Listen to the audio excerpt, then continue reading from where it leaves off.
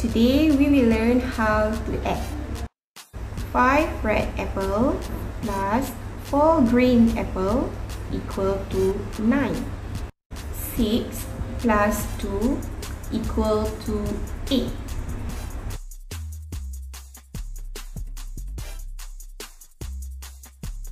Okay, that's it for today. Don't forget to do your homework and see you next class.